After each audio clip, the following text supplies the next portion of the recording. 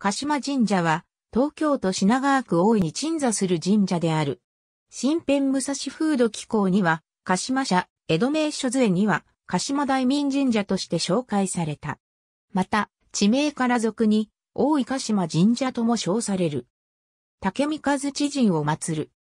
同社社殿によると、安那2年9月19日に、武蔵国江原郡大井村座関ヶ原の常幸三枚寺住職であった御事栄法院が、日立国鹿島神宮から分霊を勘定したことに、始まり、同日、別当として、大豪院を建立、自覚大師が作った薬師如来像を安置したという。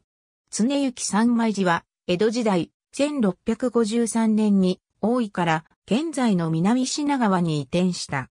1868年、神仏分離令を受け、大豪院と同一敷地内で分離、同社は大井村の孫社、総鎮守と位置づけられた。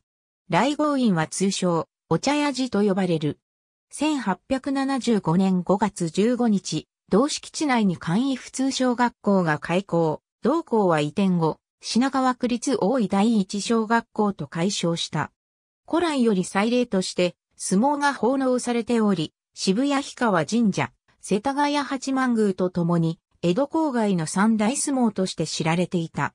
現在の社殿は1931年に竣工した。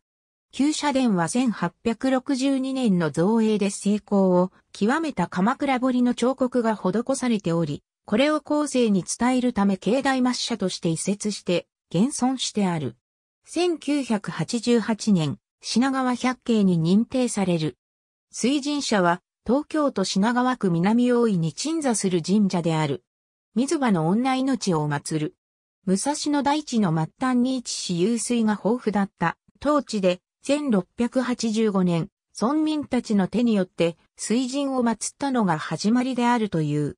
元首は桜井平と王の駐在門であった。明治時代までは日照りになると村人がここへ集まって雨乞いをしていたと伝えられている。湧水は柳の清水と呼ばれ、支通を止めるのにも利益があったという。明治時代になると祭神は水場の女命に変わった。同社にちなみ、同地域は大井水神町という町名であった。1975年前後までは水が湧き出ていたという。現在ではポンプで水を汲み上げている。1978年、品川区指定史跡、1988年、品川百景に認定される。ありがとうございます。